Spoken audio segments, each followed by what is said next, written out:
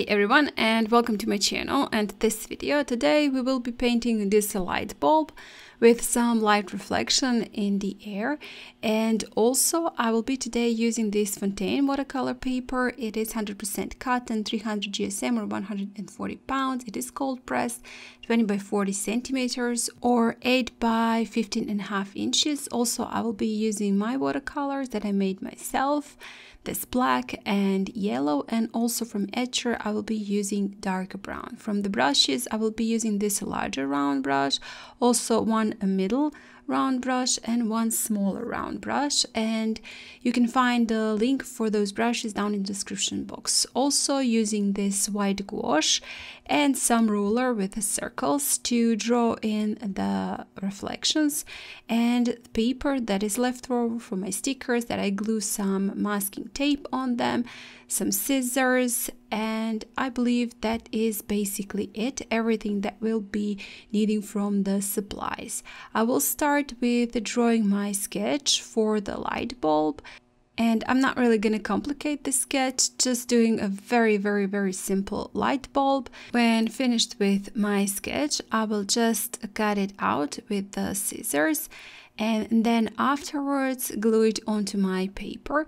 Same thing i'm gonna do also with those circles with the reflection. I'm gonna draw in a few of those and you can use them uh, you can see i'm using a smaller circle. If you don't have this uh, ruler you can definitely use just about anything circular now I'm placing it onto my paper, just making the composition.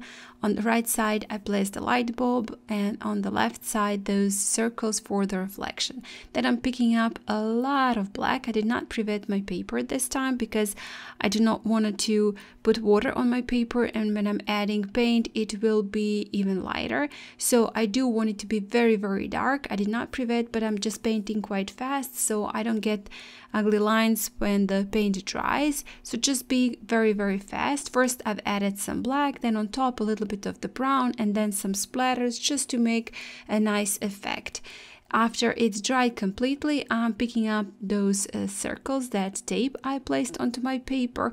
And of course, I did not mention that, but you can definitely use here masking uh, fluid. That's also an option or um, well i guess i thought everybody has masking fluid and this is a little bit larger larger shape still very simple so it is easy to do it to make it from the from the tapes and now with uh, just yellow I'm painting in those circles and on one side of the circles I'm adding a little bit more of the paint a little bit of the darker this is something like a raw sienna so I did use a little bit more water to paint in the lighter part and then a little bit more saturated paint to paint in the darker part.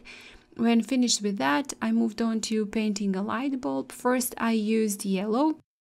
This is uh, yellow from the Etchr palette and painting in the light bulb and I left the middle part light because that is where the light is and that's the lightest part and around it I painted a little bit darker with a darker uh, yellow with something that I said that is something like a raw sienna.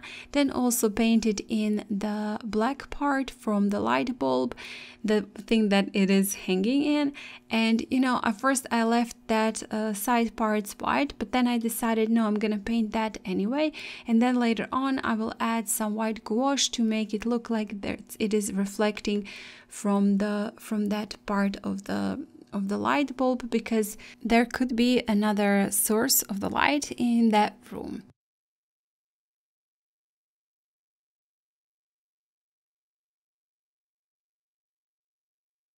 So now, as I said, adding a little bit of the white gouache on the sides. I will be adding a little bit more because also white gouache, when it dries, it becomes a little bit lighter, a little bit more transparent. So I will be adding a few times until I'm satisfied with how it all looks. Some splatters also with white gouache because why not? It just adds maybe not really realistic look, but something to it. I do love white gouache and splatters.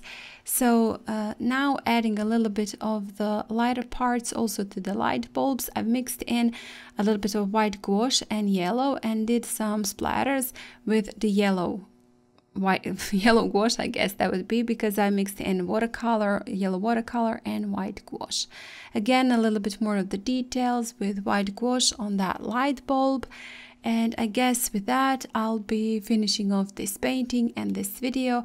I do hope guys you you like it because you know this is I guess something that I really love to paint but a little bit different maybe that I haven't done lately. So this is one idea, something fun you can do and we'll give a shot. So, thank you so, so much for watching. Thank you so much for all your support. I really do appreciate that a lot. If you like this video, please hit the like button, share it, and comment. If you haven't still, please do subscribe to my channel. That will mean a lot to me. Maybe consider joining my channel. That's that join next to the subscribe. And again, guys, thank you. Thank you so much for watching, and I hope I'll see you next time. Bye.